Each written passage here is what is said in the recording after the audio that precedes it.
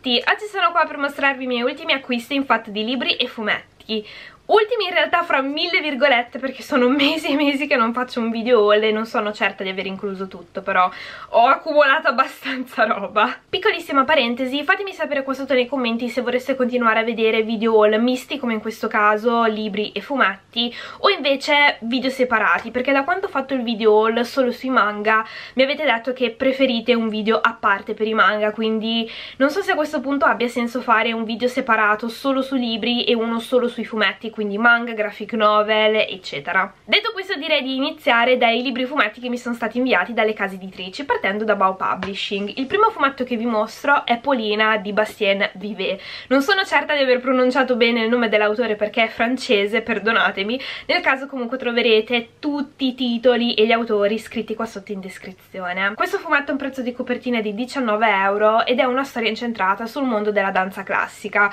Un mondo che a me personalmente affascina tanto, quindi non vedo l'ora di leggerlo. Ecco qualche tavola per darvi giusto un'idea sullo stile di disegno di quest'autore.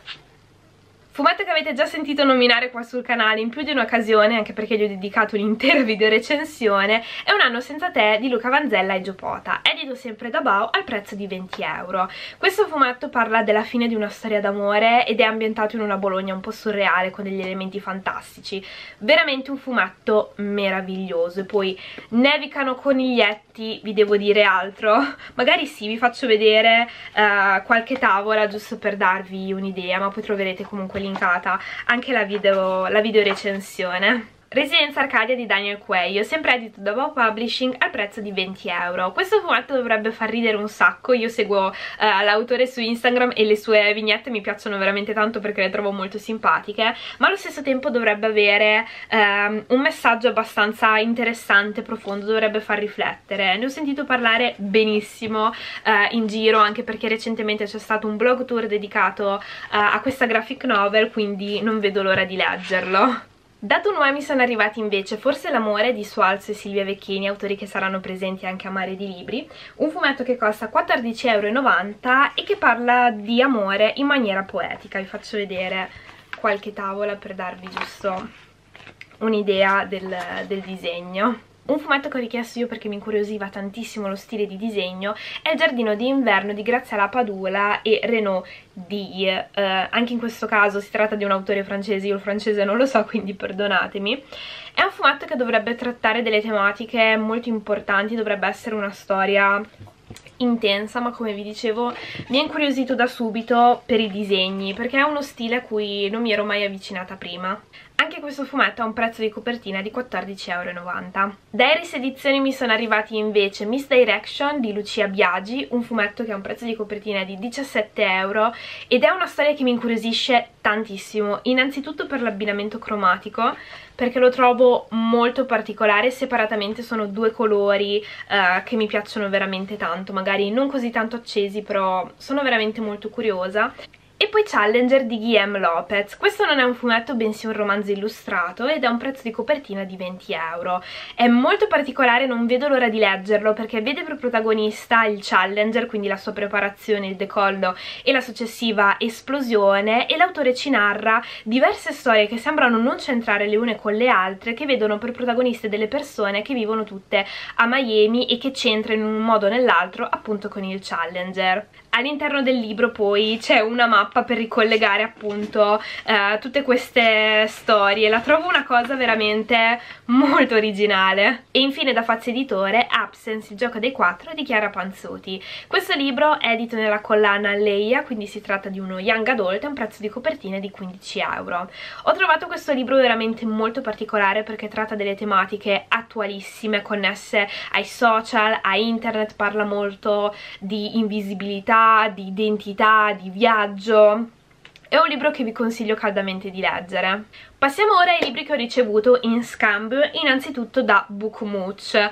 Ho trovato Poirot a Styles Court, che è il primo romanzo su Poirot che abbia mai scritto Agatha Christie e mm, non lo so, mi piaceva l'idea di averlo in questa edizione vintage, anche se è leggermente usurata, perché non lo so, sono strana, mi piace avere i libri di Poirot in edizioni diverse perché è come se raccontassero una storia e lo devo ancora leggere tra le altre cose però adesso che si avvicina l'estate è veramente molto periodo da Agatha Christie. Mentre su Hatchabooks ho recuperato tre libri. Il primo è Ragione e Sentimento di Jane Austen anche questo in un'edizione un po' usurata ma non è un problema perché voglio avvicinarmi a questa autrice quindi quale modo migliore se non attraverso lo scambio? E sempre della stessa autrice ho recuperato anche i Watsons in questa edizione eh, economica economica della Newton che non penso esista più, comunque veniva 1,90€, mentre questa è Crescere Edizioni e aveva un prezzo originale di 7,90€. L'ultimo libro che ho recuperato è sempre un'edizione economica della Newton, quella da 99 centesimi, è La Signora delle Camelie di Alexandre Dumas. Uh, sono molto curiosa di leggere qualcosa di più famoso di quest'autore, però volevo cominciare da qualcosa di più, tra virgolette, semplice e meno impegnativo, ed era un titolo comunque che mi incuriosiva tanto, quindi quindi è anche breve vedremo. Un bel po' di tempo fa il catalogo Tuno era in sconto al 25%, in più avevo un ulteriore 15% di sconto, quindi ne ho approfittato per recuperare un po' di titoli, in particolare dei saggi che mi incuriosivano veramente tanto perché nell'ultimo periodo sono molto affamata di sapere, eh, voglio, voglio informarmi e conoscere più cose possibili anche per migliorare i video che vi propongo qua sul canale. Quindi il primo testo che ho recuperato, che era uscito da poco in un'edizione aggiornata, è Storia dell'animazione giapponese di Guido Tavassi.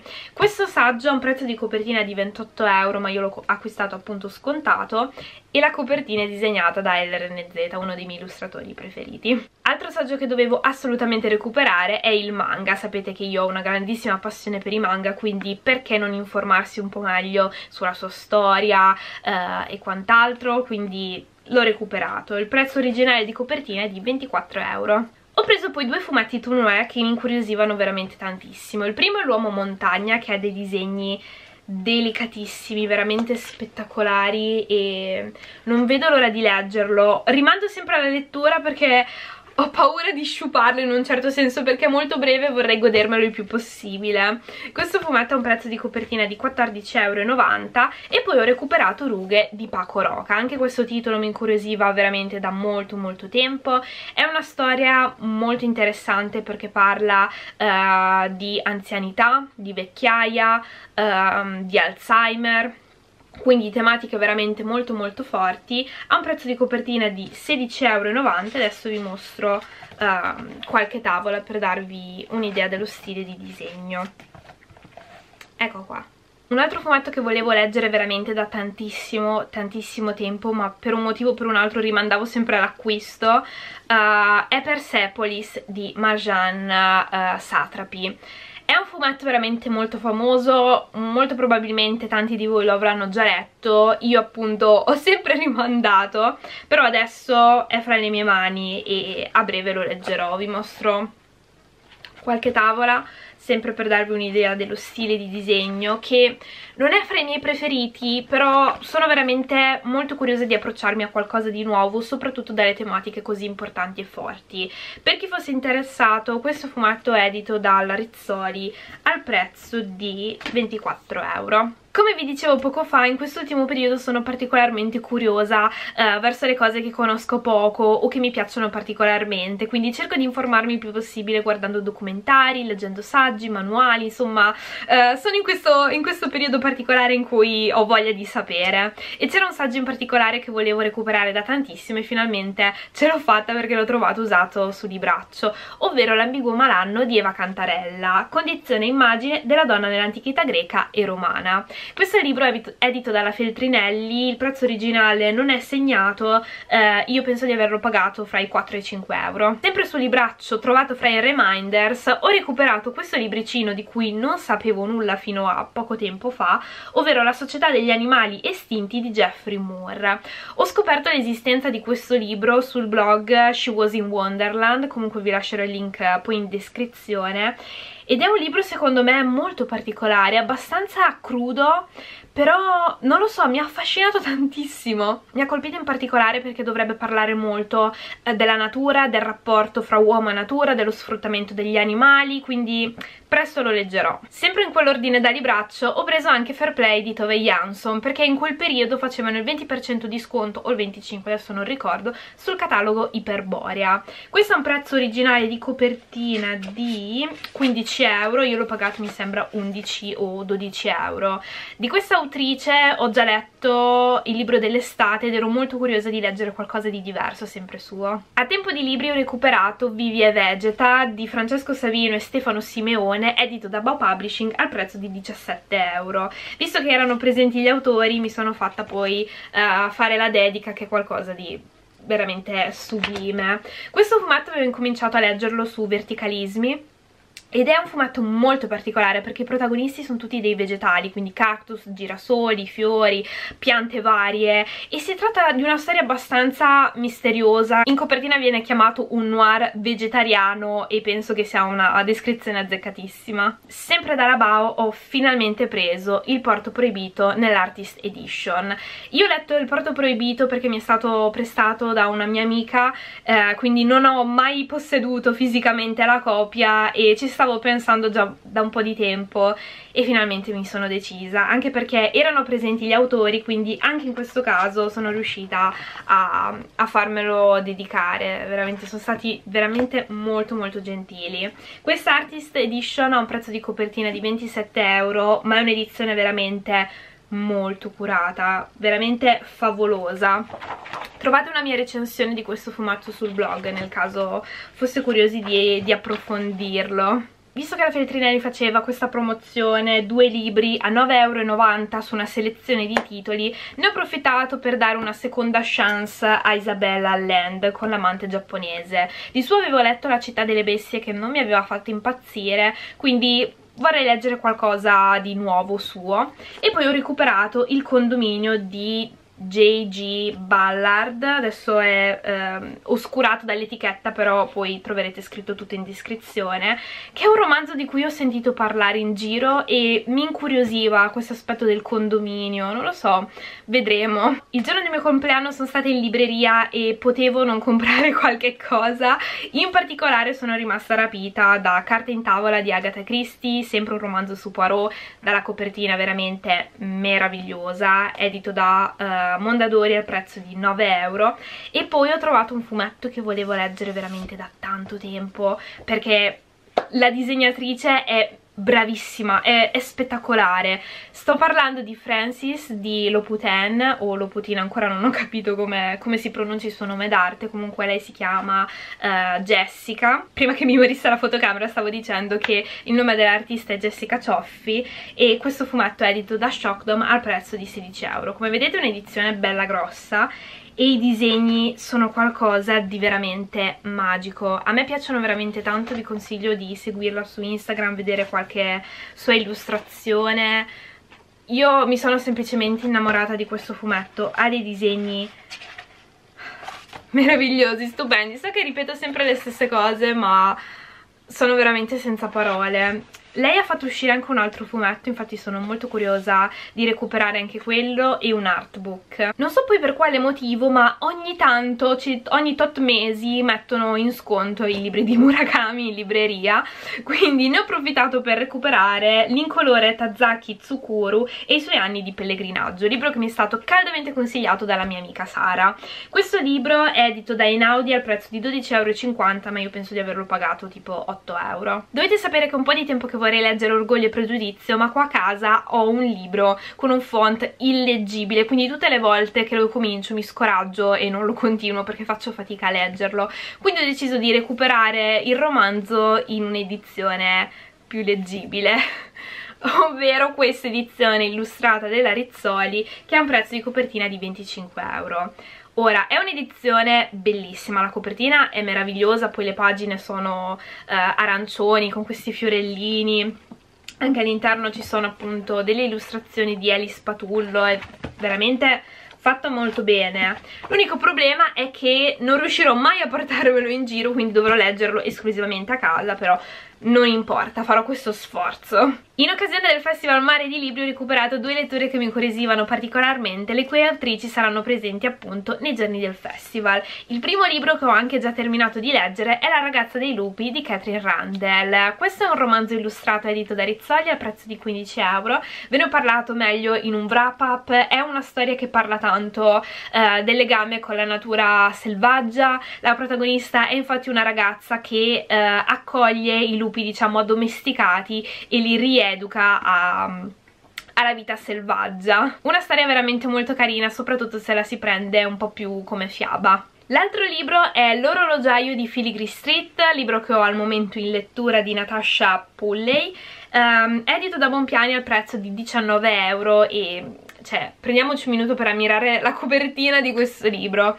Prima ancora di sapere che l'autrice sarebbe stata presente a Mare di Libri, avevo addocchiato in libreria questo libro appunto per la particolarità della copertina, anche perché si illumina al buio, poi c'è un polpo qua che è bellissimo. Una storia dalle premesse misteriose ed intriganti ambientata a Londra nel 1883 che per adesso non mi sta convincendo più di tanto, forse perché avevo altissime aspettative, forse perché non è il periodo giusto per leggerlo, non lo so. Direi di concludere questo immenso video con gli acquisti fatti al Salone del Libro. Innanzitutto i fumetti fumetti ho recuperato Lumberjanes, il quarto volume edito da Bow Publishing al prezzo di 14 euro ed è un fumetto che volevo prendere da tanto tempo solo che ero rimasta un po' delusa dal terzo volume quindi non sapevo se continuare o meno la serie però l'ho visto lì, ci sono gli unicorni in, in copertina e non potevo resistergli. L'altro fumetto sempre bello che ho recuperato è di Leo Ortolani o Il libro delle meraviglie. Questo è un prezzo di copertina di 18 euro e al momento ce l'ho in lettura. Devo dire che mi aspettavo un fumetto molto più divertente. Questo è quel genere di fumetto che non ti fa ridere a, ad alta voce, ti fa un po' sorridere perché tratta delle tematiche delicate ma molto importanti sollevando delle questioni un po' scomode quindi per certi versi fa, fa anche un po' riflettere e critica la società d'oggi. Al salone mi sono poi fiondata allo stand Iperborea perché più libri acquistavi più sconto ti facevano. Inoltre con l'acquisto di tre libri regalavano anche eh, due birre nordiche. A me la birra non piace ma mio moroso sì. Quindi visto che mi ha accompagnata e sopportata per tutta la giornata mi sembrava bello poter dare qualcosa anche a lui Partiamo dal libro che più attendevo quest'anno, già dalla copertina mi ispirava tantissimo e mi sono detta deve essere assolutamente mio e sto parlando del libro del mare, cioè guardate che copertina meravigliosa che tra l'altro poi continua sul retro con questo squalo immenso proprio perché ehm, questo libro parla della caccia allo squalo in Groenlandia e quindi è una storia molto legata eh, al mare e appunto allo squalo. Questo libro avrebbe un prezzo di copertina di 17,50 euro ma l'ho pagato con il 20% di sconto. Stessa cosa per fiabe danesi. Adoro le fiabe nordiche, mi incuriosiscono particolarmente e ho già letto fiabe lapponi che mi era piaciuto tantissimo quindi ho deciso di recuperare anche eh, fiabe danesi che avrebbe altrimenti un prezzo di copertina di 16 euro. E infine cerchi infiniti, viaggi in Giappone per ovvi motivi visto che sono una grandissima amante del Giappone. Questo invece ha un prezzo di copertina di 15 euro Visto che Valeria del canale Read Vlog Repeat ne parla sempre ma sempre in maniera veramente entusiasta ho deciso di prendere L'estate del cane bambino di Mario Pistacchio e Laura Toffanello edito da 66 and Seconds al prezzo di vediamo un po' 16 euro ma in fiera facevano lo sconto quindi l'ho pagato 13 sono molto curiosa di leggerlo. So che forse soffrirò però non vedo l'ora di, di tuffarmi in questa avventura. Questi erano quindi tutti i miei acquisti fatti nell'ultimo periodo. Fatemi sapere qua sotto nei commenti che cosa ne pensate se avete già letto qualche titolo che vi ho mostrato se c'è qualcosa che vi incuriosisce o meno insomma sono molto curiosa. Spero che questo video vi sia piaciuto e noi ci vediamo alla prossima. Ciao